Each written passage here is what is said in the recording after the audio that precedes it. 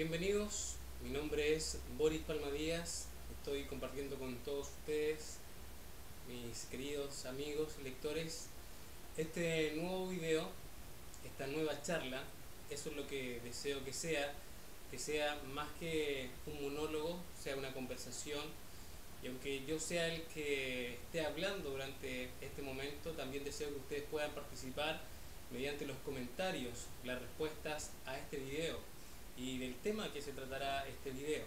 Lo pueden hacer a través de los comentarios en mi canal de YouTube donde estará subido el video o también pueden hacerlo a través de mi blog www.borisalbert.blogspot.com donde están reunidos todos mis videos.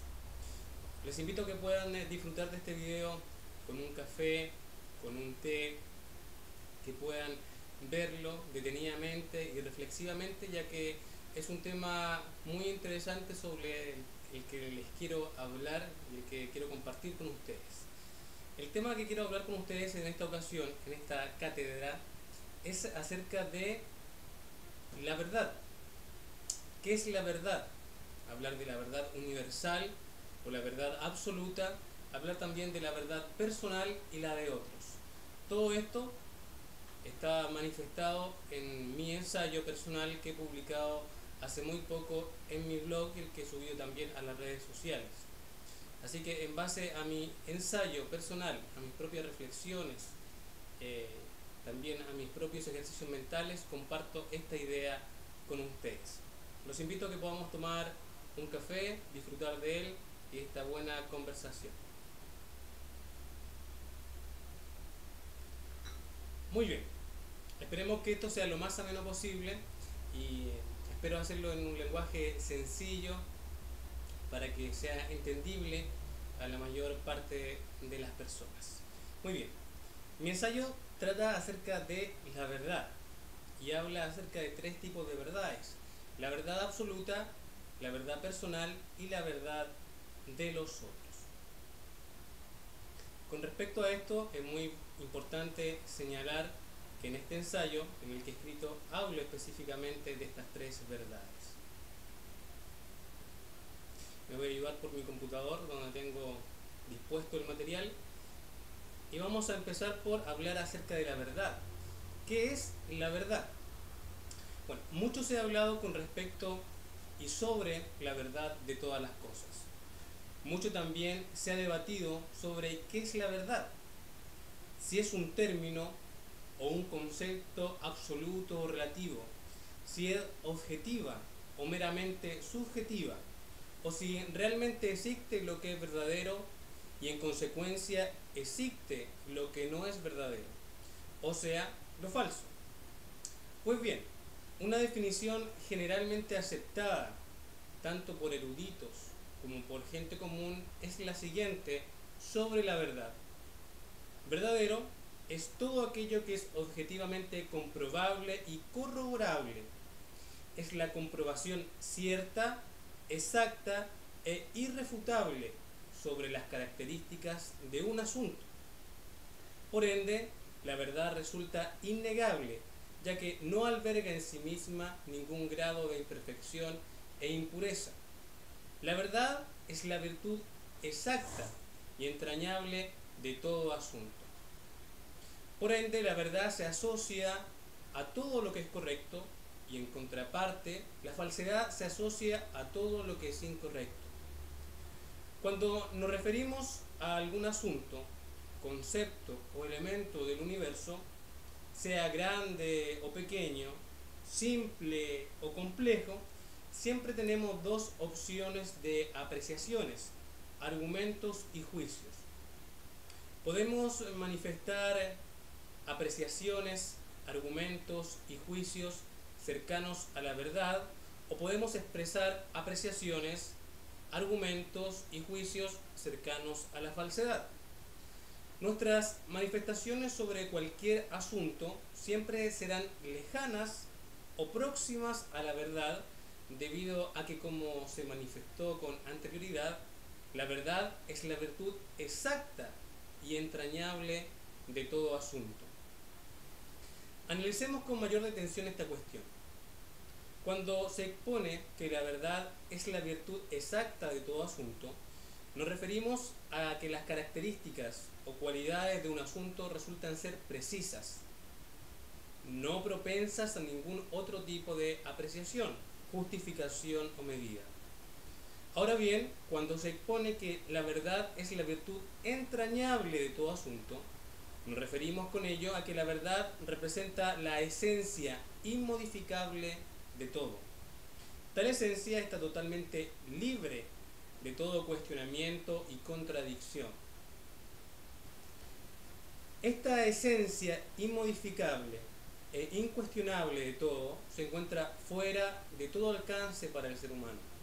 Nos resulta una empresa irrazonable tratar de conocer la esencia o raíz de todo asunto, pues mientras más creemos acercarnos a ella mediante el estudio, la investigación, la experimentación y la reflexión intensa, nuevos conceptos aparecen en nuestro camino, nuevas opciones y alternativas nuevos detalles, perspectivas y apreciaciones que nos obligan a comenzar de nuevo por el mismo camino o simple y llanamente abordar otro sendero.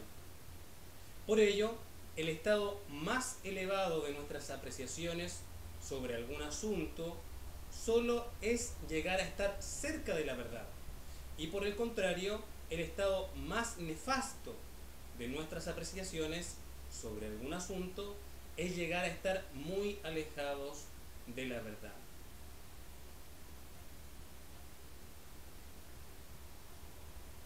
Ahora bien, considero que existen tres tipos de verdades. Primero, la verdad universal o absoluta. Segundo, la verdad personal. Y tercero, la verdad de los otros. Y en base a estas tres verdades se habla sobre el relativismo, el objetivismo y el subjetivismo de la verdad. Pasemos por favor a observar el siguiente modelo que he diseñado que nos aclarará ciertos aspectos sobre la verdad y que iremos analizando detalladamente a medida que avanzamos en la comprensión. En mi ensayo he diseñado, he dispuesto un modelo ecológico de la verdad, y eh, en este modelo se puede apreciar gráficamente cómo la verdad está dispuesta en medio de un sistema. En el dibujo se aprecia si ustedes pueden ingresar a mi blog y pueden ir siguiendo la lectura, ir siguiendo este video a través del ensayo, se darán cuenta que hay un gráfico donde se aprecia la verdad absoluta como un círculo en medio de un sistema. Este sistema o este círculo central está siendo rondado por otro tipo de verdades, ¿ya? a las que llamo verdades especializadas. Más a lo externo del sistema están las verdades reflexivas que también giran en torno a la verdad universal. Y lo más externo en este sistema serían las verdades comunes, que también están girando en base a la verdad universal. Esto se puede apreciar de manera mucho más gráfica, ustedes pueden eh, seguir eh, estas palabras a través de el ensayo que está dispuesto en mi página web. Muy bien, hablaremos a continuación acerca de la verdad universal. El modelo ecológico del que les hablé y el que se muestra en mi ensayo nos permite expresar más claramente ciertos aspectos y características de la verdad universal. Cuando hablamos de la verdad universal, nos referimos a todo conocimiento certero, exacto, esencial e irrefutable sobre algún concepto o elemento respectivo al universo físico y al universo inmaterial. Lo universal tiene relación a todo lo que nos rodea fuera de las fronteras de nuestro propio cuerpo aunque nuestro propio cuerpo también sea un elemento perteneciente al universo general. Por ende, cuando nos referimos a la verdad universal, hablamos de la verdad referente a lo externo, a lo objetivo, no a lo interno, íntimo o subjetivo de cada ser. Así, la verdad universal trata de asuntos generalizados y universales como Dios, la vida, la muerte, la existencia humana, las problemáticas sociales y el conocimiento científico sobre todo elemento, ya sea a nivel microscópico o, macroscópico. Debido a que la verdad universal es externa a nosotros mismos y a nuestras influencias, este tipo de verdad es inmodificable, aunque muchas veces esté condicionada por nuestra propia educación y experiencias. También, debido a que la verdad universal es independiente al ser humano, esta ha existido desde antes que el hombre, y ella misma sienta las bases y los fundamentos de toda percepción, perspectiva e idea, conjetura y conocimiento humano. Además, gracias a su externalidad, resulta ser en su totalidad objetiva e irrelativa, ya que tanto los subjetivismos como los relativismos se generan desde la percepción humana y antropocéntrica de los asuntos. Esta verdad universal está representada por un conocimiento exacto e irrefutable, también incuestionable. Ese conocimiento nos entrega las respuestas a interrogantes como estas. ¿Existe Dios? ¿Quiénes somos realmente? ¿Cuál es el verdadero sentido de la existencia humana? ¿Por qué morimos? ¿Existe vida e inteligencia extraterrestre? Además, nos facilita datos e informaciones relevantes sobre la ciencia de la naturaleza terrestre y espacial. O sea, representa el conocimiento del universo inmaterial, no físico y también del universo material físico. Esto es hablando en relación a la verdad universal o absoluta. He aquí donde entra en juego también, y ahora en este momento, un concepto fundamental, la fragmentación de la verdad universal.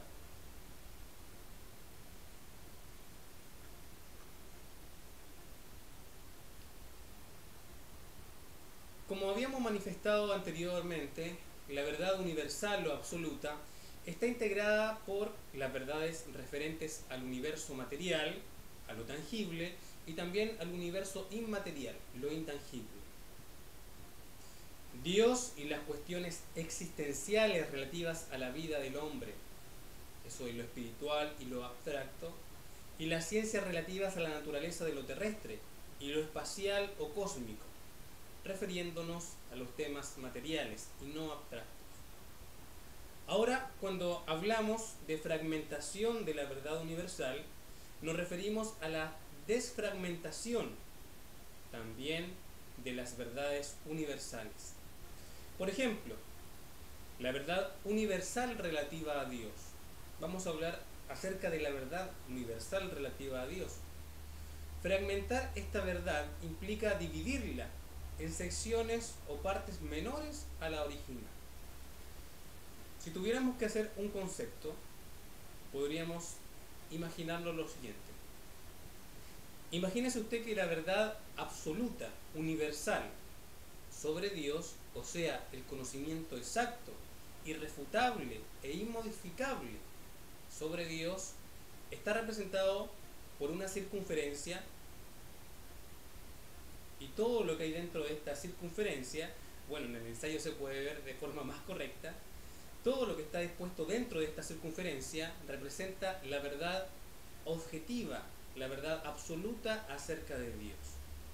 Sin embargo, esta verdad universal acerca de Dios puede dividirse o puede fragmentarse en dos partes más pequeñas que la parte inicial, que la parte original. Por ejemplo, la verdad universal acerca de Dios se puede fragmentar de la siguiente forma, con dos simples opiniones. Dios existe Dios no existe.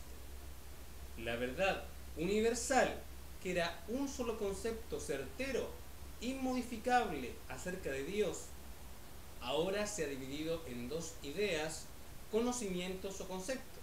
Se ha fragmentado en dos partes. La primera opción es que Dios existe. La segunda opción es que Dios no existe.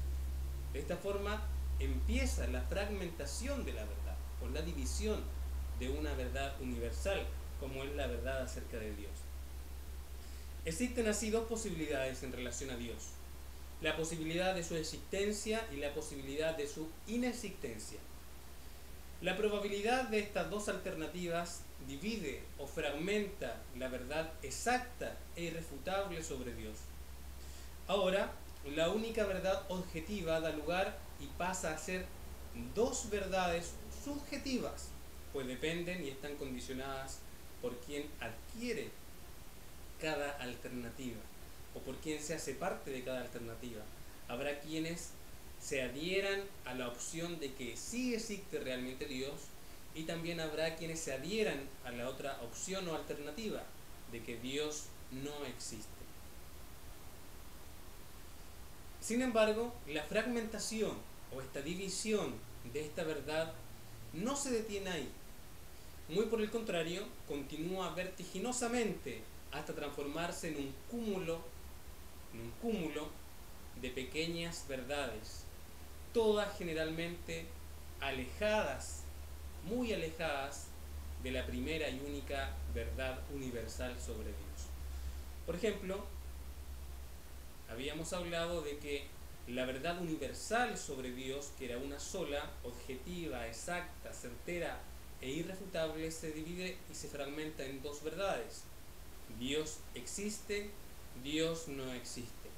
Sin embargo, estas dos fracciones pueden dividirse también ellas mismas en más opciones.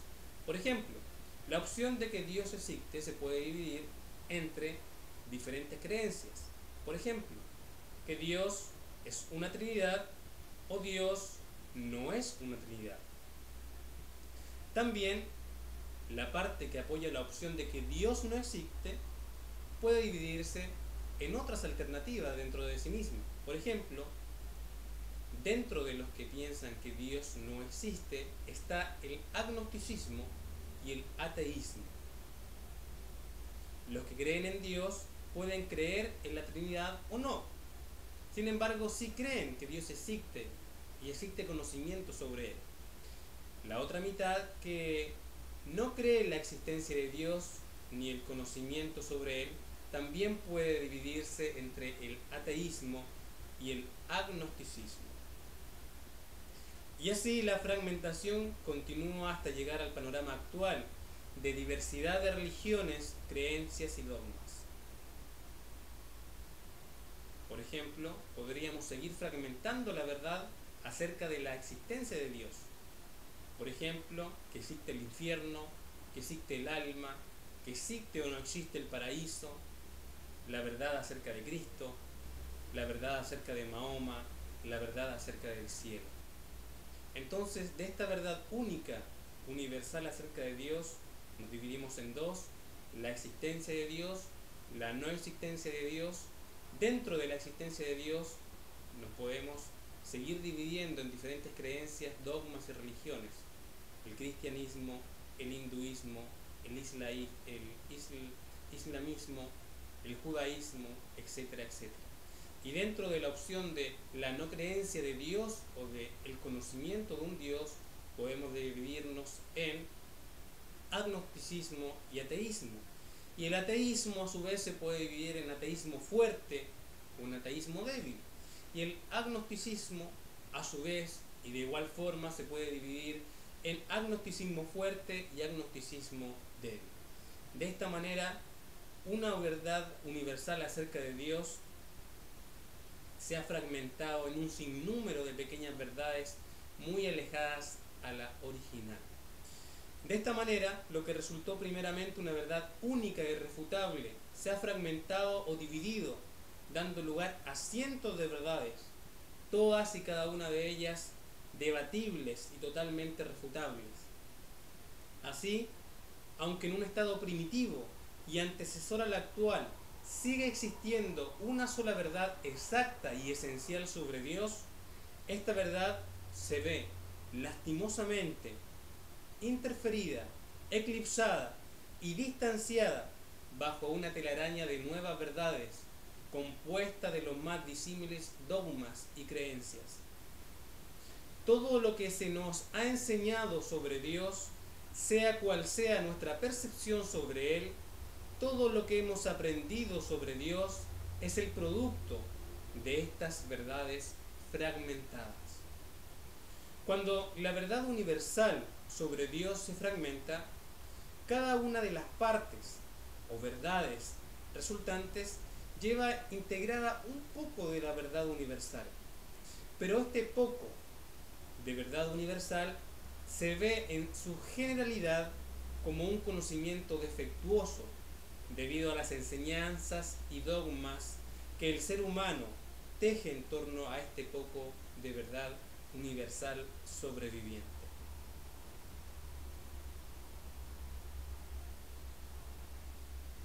Conclusivamente, podemos decir que esta verdad única sobre Dios se ha visto fragmentada. Sin embargo, estas, fragmentaciones o parte de la verdad universal contienen esencia de la verdad universal, pero se ven colapsadas o eclipsadas por los dogmas creados por el propio hombre, lo que genera un conocimiento defectuoso en torno a Dios, en este caso, como estamos analizando la verdad acerca de Dios. De esta manera, como la verdad absoluta sobre Dios se ve distanciada de la gente común, los cientos o miles de fragmentos de la verdad universal sobre Dios representan cientos o miles de alternativas y opciones, un océano de dogmas y creencias que giran en torno a un ser humano desorientado, falto de guía confiable y fidedigna. En consecuencia, el hombre acepta sin refutar la herencia tradicionalista de la religión de sus antepasados, y así ésta se perpetúa en un lastimoso ciclo de inercia. Conclusivamente, lo que hoy sabemos sobre Dios y su existencia es en el mejor de los casos algo, una pequeña porción de la verdad absoluta sobre él.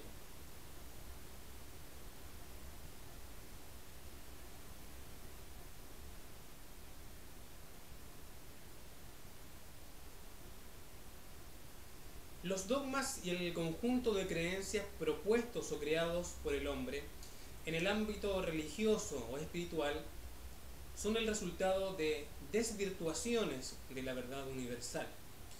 A su vez, estas desvirtuaciones son el producto de distintos factores, intereses políticos, control de masas, influencia de poder o simplemente conclusiones erróneas destiladas de erráticas investigaciones y estudios. Estas desvirtuaciones de la verdad universal sobre Dios han continuado y han constituido la columna vertebral de la mayoría de las religiones, confesiones, sectas y credos. Y de forma muy poco razonable, cada religión u organización religiosa dice ser poseedora de la verdad absoluta o universal sobre Dios.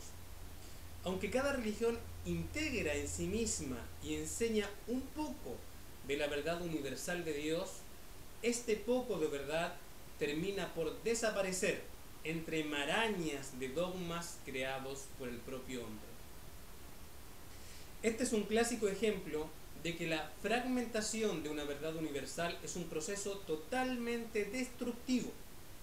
La fragmentación nos distancia del conocimiento absoluto o exacto, genera desunión, divisiones entre la humanidad y guerras de pensamientos y fe.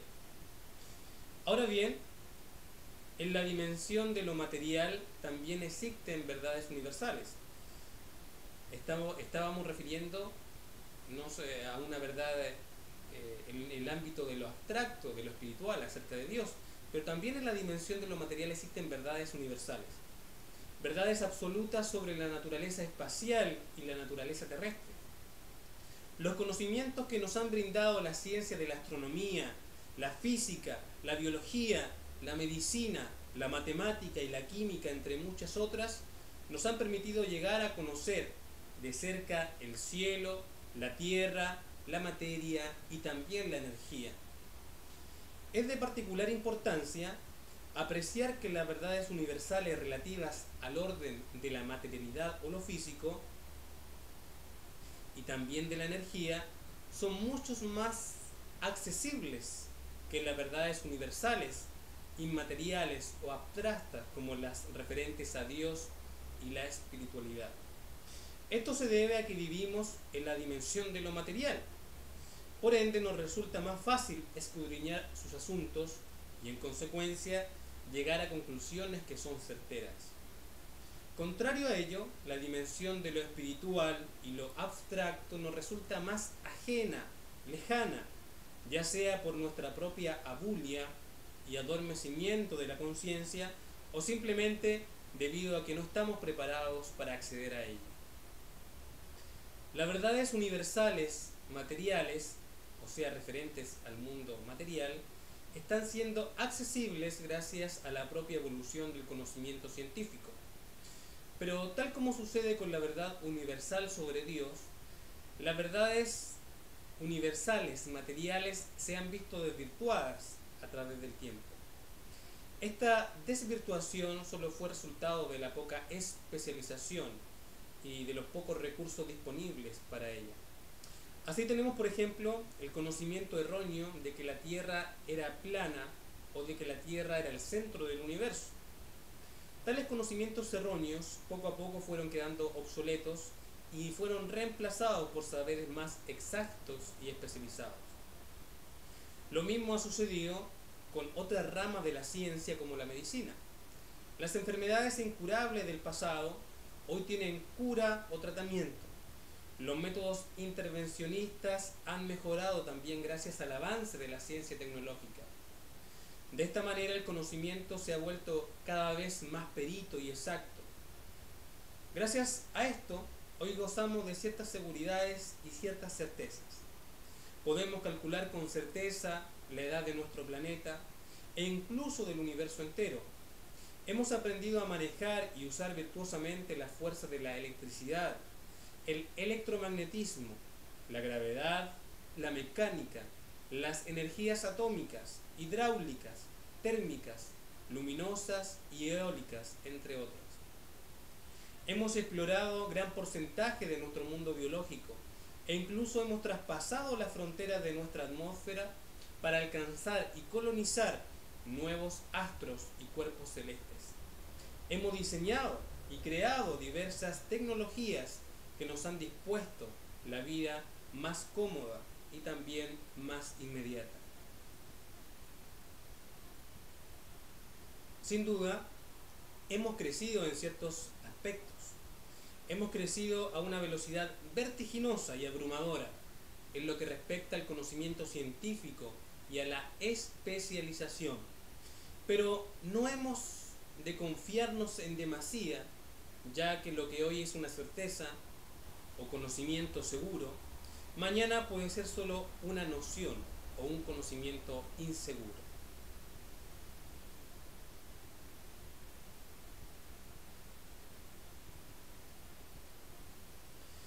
Ahora ya podemos enriquecer nuestra perspectiva de lo que son las verdades universales, sus características y todo concepto que circunda alrededor de ellas. El modelo ecológico de la verdad del que les hablé al principio, donde la verdad estaba al centro de este sistema y había distintos tipos de verdades girando alrededor de ella, nos representa nuevas especificaciones. Pueden ver esto de forma más clara en las imágenes que aparecen en el ensayo. Como notamos en estas imágenes, las que le invito por favor a que puedan analizar en el ensayo, la verdad universal es el centro exacto y esencial de todo conocimiento, o sea, la verdad universal o absoluta es el centro de este sistema. Luego, esta verdad, que en su estado más puro es una sola, integrando todas las verdades universales, se fragmenta en porciones más pequeñas de conocimiento, como vimos al principio en el caso del conocimiento universal acerca de Dios. Estas porciones más pequeñas son las llamadas verdades especializadas. Este tipo de verdades, o sea, las verdades especializadas, son las que giran de forma más cercana y próxima a la verdad universal. En este sistema que he diseñado y manifestado en mi ensayo, la verdad universal está al centro del sistema. Sin embargo, hay verdades que giran muy próximas a ella. Estas verdades son las que se han fragmentado desde la verdad universal hacia afuera. Estas verdades que giran alrededor de la verdad universal son las que yo llamo verdades especializadas. Debido a su perfil especializado y perito, estas verdades especializadas contienen conocimientos complejos y elevados de carácter científico.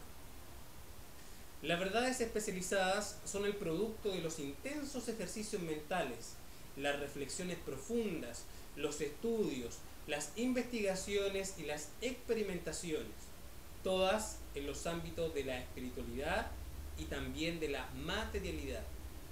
Conclusivamente, las verdades especializadas referentes a las verdades universales espirituales son todos los tipos y clases de religiones u organizaciones religiosas que basan sus enseñanzas en el escudriñamiento serio de los textos sagrados. En tanto, las verdades especializadas referente a las verdades universales y materiales son todas las ramas de la ciencia. Este tipo de verdades especializadas, ¿ya? Generalmente son adquiridas por grupos relativamente pequeños, la comunidad científica y las cúpulas de las organizaciones religiosas. En ambos casos, los motivos de esta situación se da por factores a veces realmente trágicos. Cabe recordar lo sucedido en la época del oscurantismo, donde de forma totalmente deliberada se obstaculizaba el conocimiento de la metafísica y la teología por un grupo central de poderosos e influyentes conservadores. Todo esto con la finalidad de mantener la vacuidad intelectual de las masas y facilitar su control. Para acceder a las verdades especializadas es de suma importancia la adquisición de conocimientos certeros mediante una educación pública de calidad. Luego, y de forma más externa, se manifiestan las verdades reflexivas. Recordemos, en este sistema está al centro la verdad universal.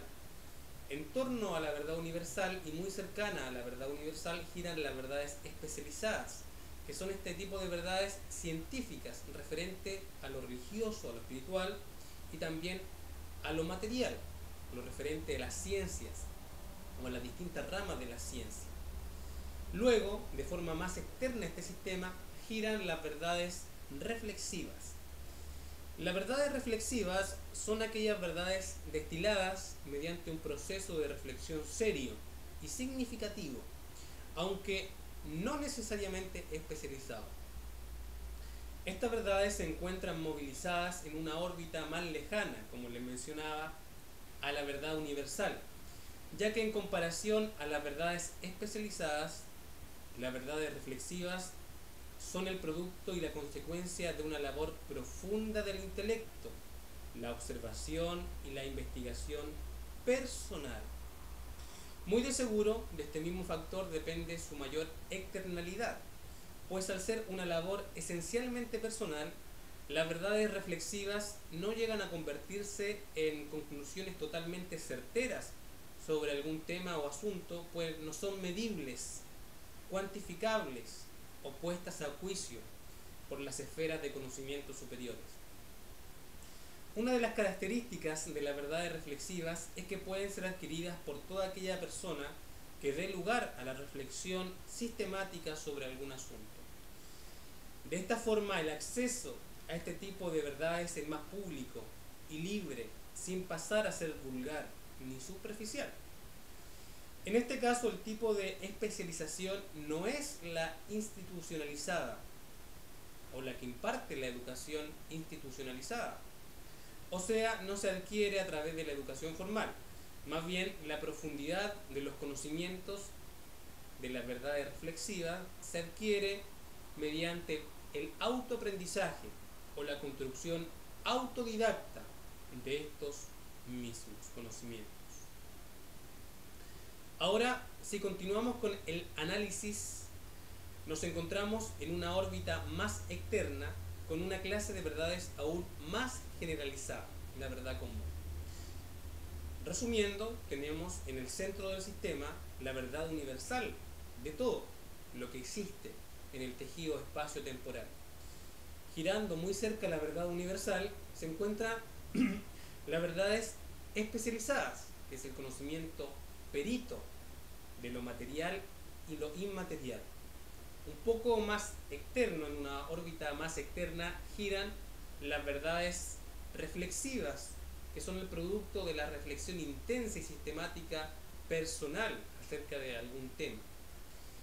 Y en una órbita mucho más externa se encuentran las verdades más generalizadas, que son el tipo de la verdad común.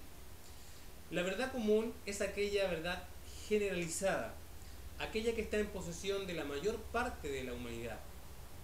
Estas verdades están integradas por centenares y miles de nociones y poca cantidad de certezas o conocimientos seguros, exactos.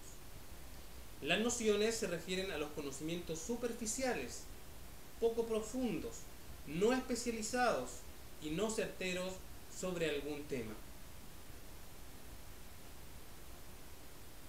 Es así como la gran mayoría de nosotros tenemos demasiadas nociones sobre diversos temas. Este tipo de conocimientos no resultan totalmente acabados, no resultan totalmente acabados.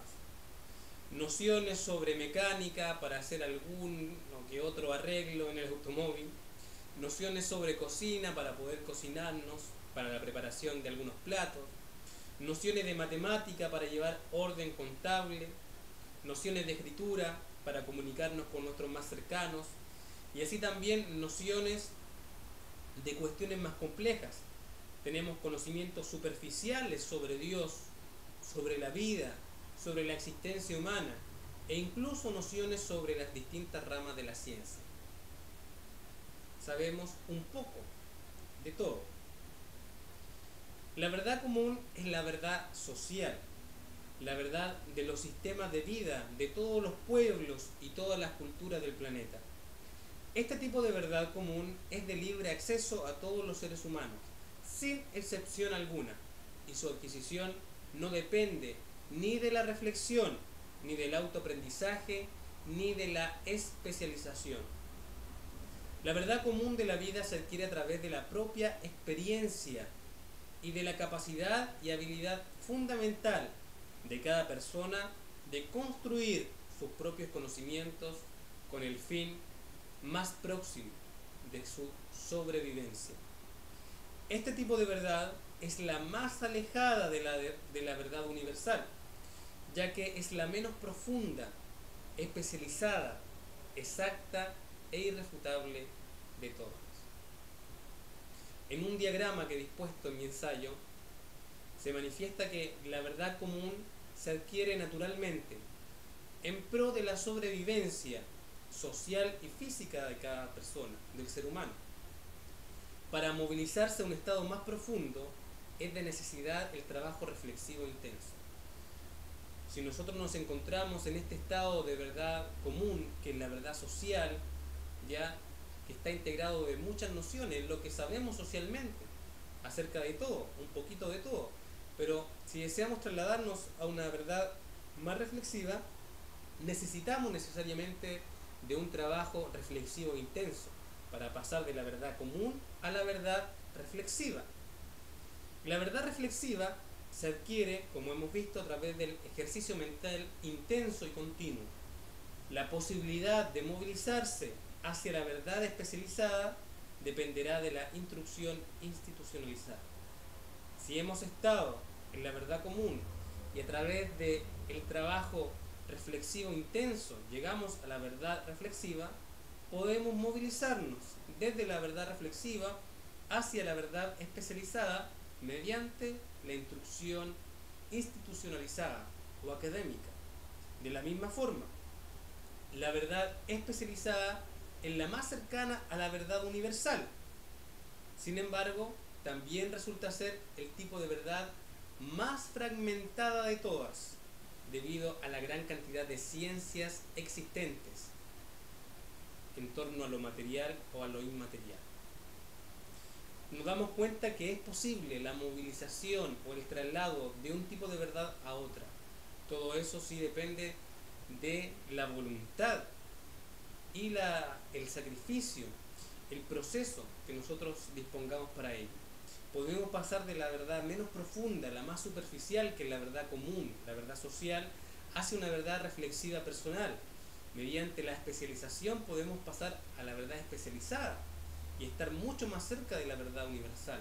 Sin embargo, esta verdad especializada nos ofrece multitudes de alternativas en cuanto a multitudes de ciencias y en lo referente a la espiritualidad, multitudes y, y muchas probabilidades y alternativas acerca de lo que es Dios y lo que es la espiritualidad.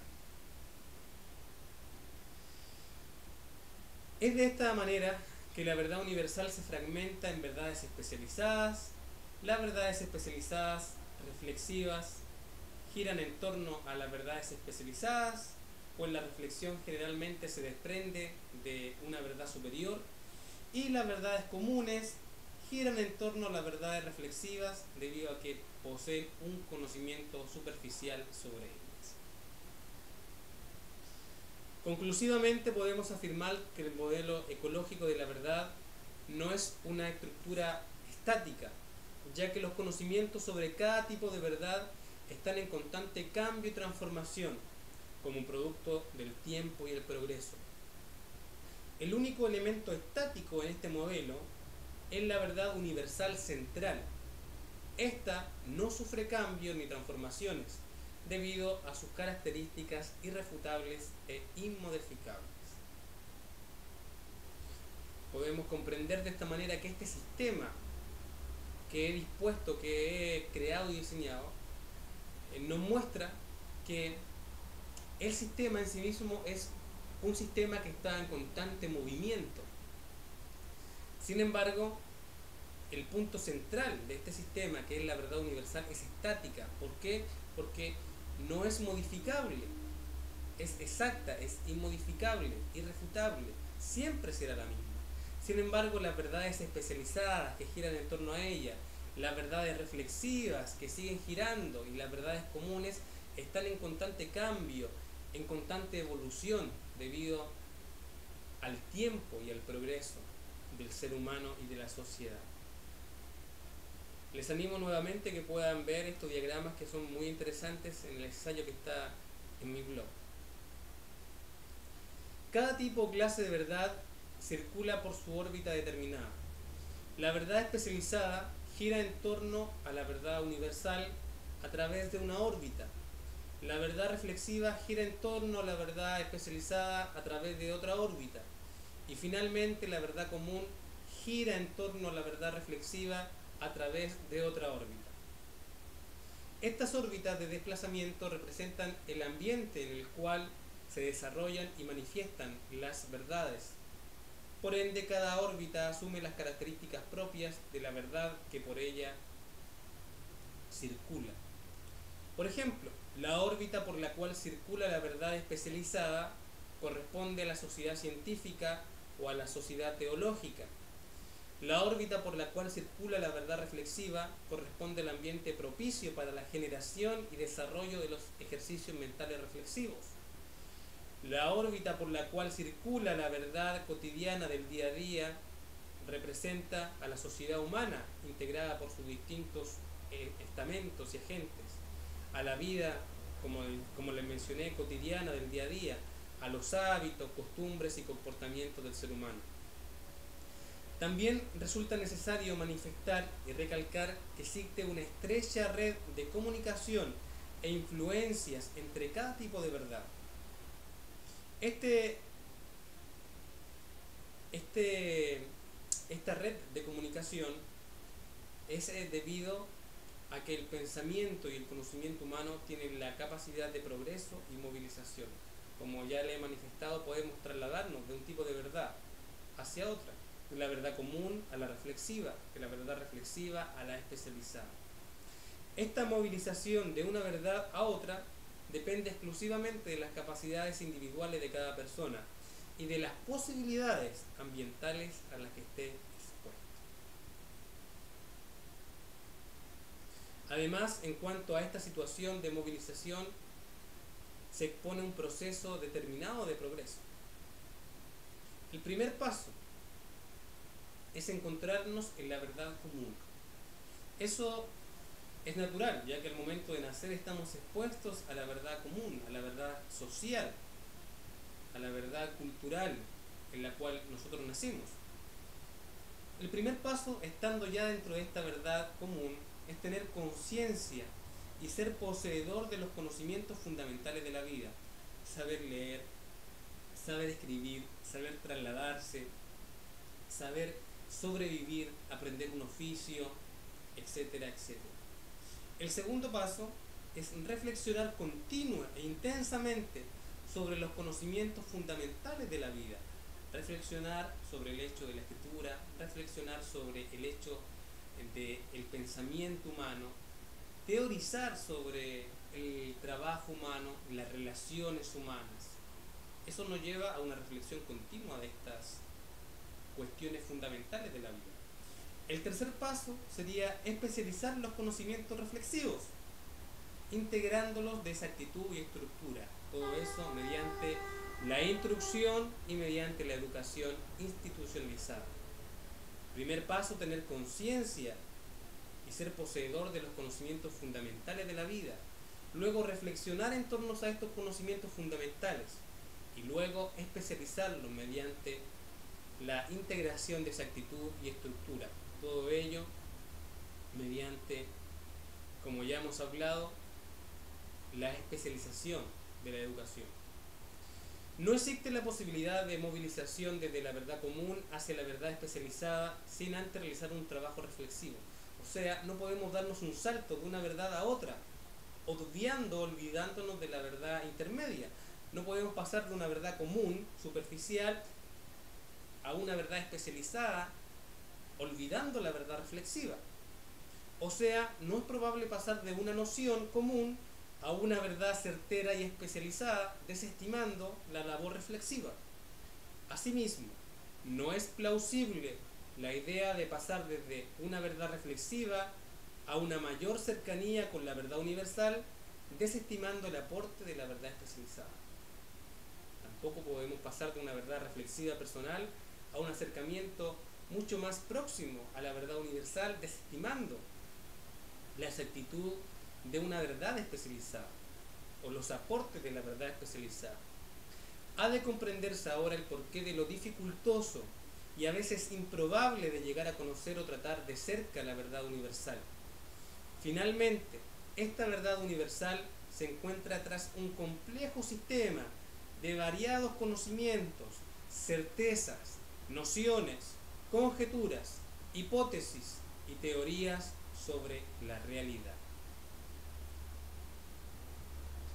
Bueno, estimados amigos, este ha sido el primer video y hemos eh, tratado en este primer video, en esta primera cátedra, eh, lo más esencial acerca de la verdad universal y absoluta. Vimos que la verdad absoluta está centrada en un sistema y es inmodificable, es certera, irrefutable, en la virtud exacta y el conocimiento entrañable de cualquier asunto o elemento. Y está dispuesta en un sistema donde, como es inmodificable, no se mueve, es estática. Sin embargo, de este mismo sistema existen otros, otros tipos de verdades. Debido a que la verdad universal se fragmenta, es fragmentable, de esta, verdad universal se generan verdades especializadas que giran en torno a la verdad universal. De estas verdades especializadas se desprenden otras verdades que son verdades reflexivas personales. Y de estas verdades reflexivas personales se desprenden otras verdades que son las verdades comunes de la gente. La idea es que hayamos podido disfrutar eh, también de un buen café de una exposición cercana, espero que haya sido entendible La idea para que ustedes puedan llegar a un mejor conocimiento y puedan seguir mejor este, esta disertación, esta exposición, es que puedan contar ustedes mismos con el documento, con el ensayo, el que está eh, en mi blog de manera gratuita. Pueden verlo, pueden leerlo online o también pueden descargarlos, ya que seguiré con la exposición de esta cátedra en la segunda clase acerca de mi ensayo sobre la verdad y hablaré en la segunda cátedra sobre la verdad personal ya que manifesté que existen tres tipos de verdades. La verdad universal o absoluta, de la que hablamos profundamente ahora. Pero también estaba la verdad personal y la verdad de los otros. Hablaremos acerca de la verdad personal y la verdad de los otros en un segundo video. Mi nombre es Boris Palmadías, poeta, escritor y ensayista chileno. Los invito a que puedan suscribirse a mi canal en YouTube, también que puedan suscribirse y seguirme a través de mi blog y espero sus comentarios. Espero haya sido esta una conversación agradable, una cátedra agradable y nos reencontramos en otro momento. Hasta luego, que estén muy bien.